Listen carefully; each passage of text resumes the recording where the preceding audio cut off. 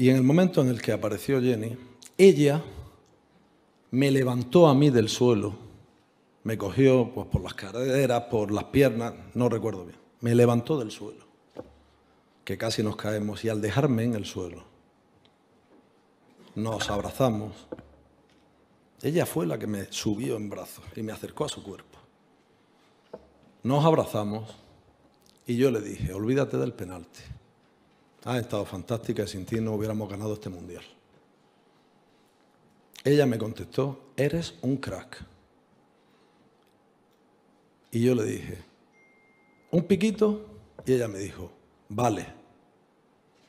Fue el piquito durante todo este proceso con varios manotazos en mi costado y despidiéndose con un último manotazo en el costado y yéndose riéndose. Esa es la secuencia de todo.